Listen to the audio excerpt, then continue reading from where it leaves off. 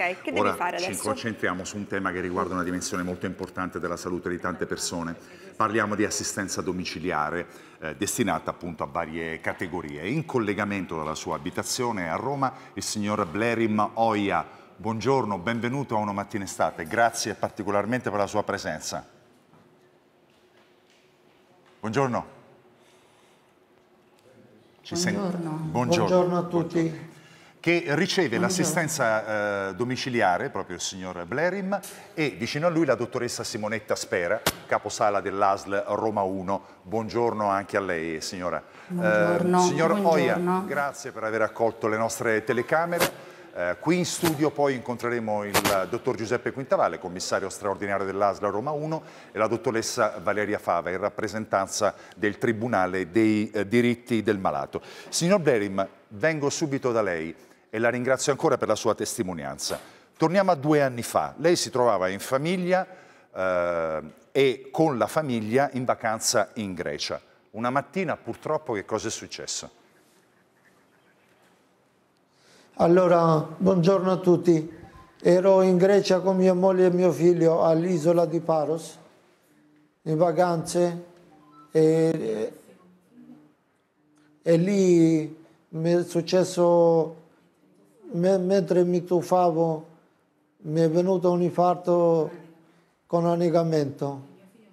Mio figlio mi ha trascinato fuori dal mare e mi ha salvato la vita. Dopodiché non mi ricordo più niente. Senta, Mi signor... sono svegliato dopo 15 giorni, 15 giorni di coma. Beh, è stato un, eh, un percorso molto difficile e molto doloroso. Senta, signor Blerim, eh, dopo queste lunghe cure che lei ha ricevuto in istituto, a un certo punto poi si è avviata l'assistenza domiciliare co- con l'ASL Roma 1 e poi è stato operato al Rizzoli di Bologna. Noi, nonostante la fatica e la difficoltà, siamo felici di vederla bene, diciamo, anche se il percorso è molto travagliato. Però nessuno più di lei ci può raccontare com'è oggi la sua situazione. Dopo l'intervento di 11 no- novembre a Rizzoli, ringrazio il professor Cesare Paldini con il suo staff e vedo miglioramenti tu- giorno per giorno dopo l'intervento. Grazie anche ai professionisti dell'ASL Roma 1. Infatti eh, questo spazio lo vogliamo dedicare proprio a lei e a tutte le persone che vivono questa esperienza e hanno bisogno di questo tipo di assistenza.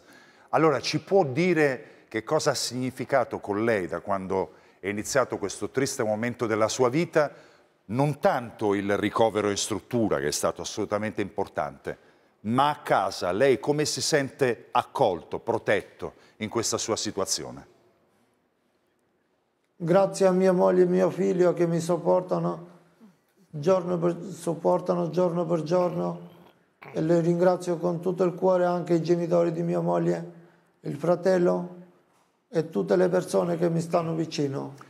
E a proposito delle persone che le sono vicino, accanto a lei c'è la dottoressa Simonetta Spera che coordina eh, l'assistenza domiciliare. Eh, chi sono i professionisti che si alternano in questo caso specifico nella casa del signor Blerim? Eh, buongiorno. Eh, per- innanzitutto per poter decidere quali sono i, eh, i professionisti da impiegare nell'assistenza eh, ci vuole una valutazione a domicilio per eh, vedere i bisogni del paziente. Nel caso di Blerim abbiamo impiegato diciamo, in- nelle- nella giornata, sette giorni su sette, circa 5-6 eh, professionisti che sono un infermiere eh, per le cure infermieristiche, eh, il fisioterapista per la riabilitazione e il mantenimento della muscolatura di Blerim, eh, un assistente eh, sociosanitario per le cure giornaliere, dei medici specialisti eh, come il cardiologo, lo pneumologo, l'urologo, il dermatologo eh, e l'in- l'internista. Abbiamo il fisiatra anche che lo segue. e eh, in questa situazione eh, una psicologa segue la famiglia, visto eh, diciamo, la difficoltà eh, nell'affrontare questo loro percorso che si è presentato nella loro strada. E poi ci sono io che ehm, diciamo, eh, controllo che tutto funzioni nella maniera giusta per Blerim. Si occupa appunto del eh, coordinamento, un coordinamento non facile da realizzare nel, negli effetti pratici e comunque abbastanza complesso da gestire. Quindi intanto complimenti per il vostro lavoro e per il vostro servizio, perché in questo caso non si può mai prescindere dal senso proprio del servizio, della prossimità, della vicinanza a queste persone. Torno qui in studio dal dottor Quintavalle, che è il commissario straordinario dell'ASL Roma 1 ancora buongiorno, benvenuto e ben trovato. Grazie. Seguire i pazienti come il signore che abbiamo in collegamento è un impegno molto importante per voi, mezzi, personale e poi ci sono tante altre categorie di pazienti. Allora, diciamo innanzitutto grazie alla dottoressa Spera e al nostro paziente che, ha, che vedo sta molto bene, quindi mi auguro per lui un miglioramento continuo. E questo servizio si avvale di un'unità valutativa multidimensionale che apre un PAI, un piano assistenziale che è individuale. Quindi ogni persona avrà il, i suoi professionisti, che in questo caso sono tanti, a seconda naturalmente delle patologie. Le categorie che abbiamo sono fortunatamente per dato minore quelle più gravi, quindi tracheostomizzati, chi ha la ventilazione meccanica, chi deve fare anche un'alimentazione diciamo, non diretta. Poi la fortuna, e diciamo la fortuna noi stiamo aggredendo adesso invece tutta quella fascia di over 80 che stanno bene, hanno piccole patologie ma che vanno controllati perché potrebbero virare in una situazione di gravità. Miei genitori per esempio.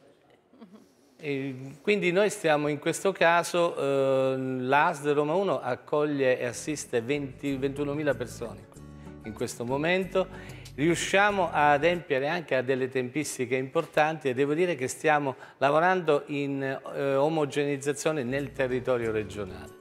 Quindi il nostro compito è quello di intervenire immediatamente e il cittadino cosa deve sapere però?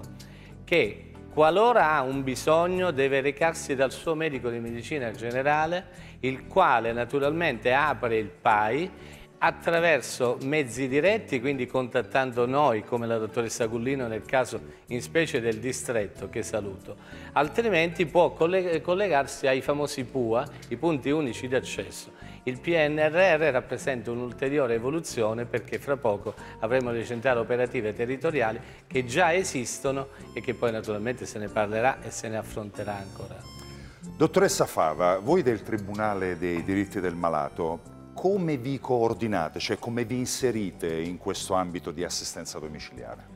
Allora, il tema dell'assistenza domiciliare è un tema che eh, noi trattiamo tantissimo perché il bisogno, come diceva il professor Quintavalle, è davvero molto ampio, soprattutto perché gli anziani sono sempre di più. Siamo felici di averne esatto, sempre è, di più perché buona... l'aspettativa di vita si è, è, si è alzata, alzata, però, però eh, le cronicità sono aumentate e quindi i bisogni assistenziali sono molti. Quello che noi facciamo molto quotidianamente è proprio fornire informazioni rispetto all'esistenza di questi servizi, fare orientamento, indicare ecco, che il punto di riferimento innanzitutto è il medico di medicina generale e anche a volte ovviamente intervenire laddove ci sono delle difficoltà nell'attivare questi servizi. Noi abbiamo una rete di centri di tutela sul territorio, in ogni regione esistono diversi centri di tutela sul territorio a cui ci si può rivolgere sia per chiedere informazioni ma anche proprio per risolvere piccoli problemi.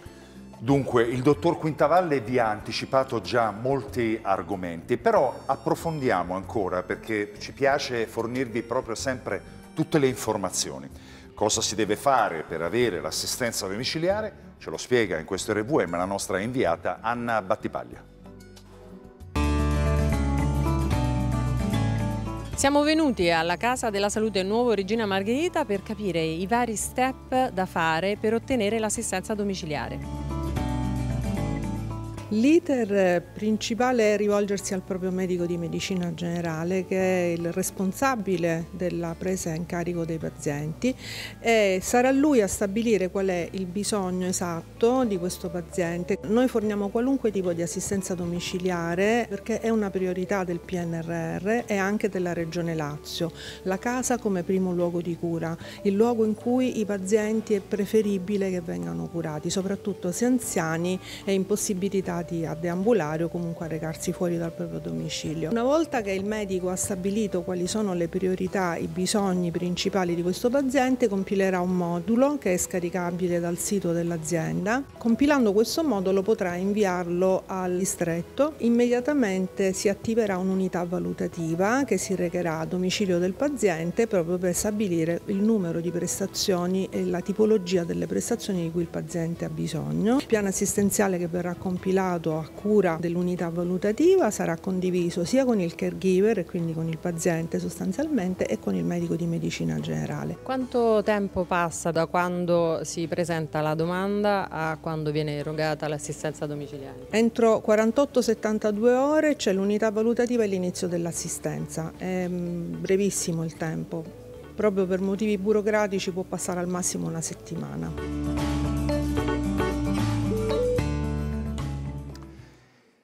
Blerim, mi senti ancora?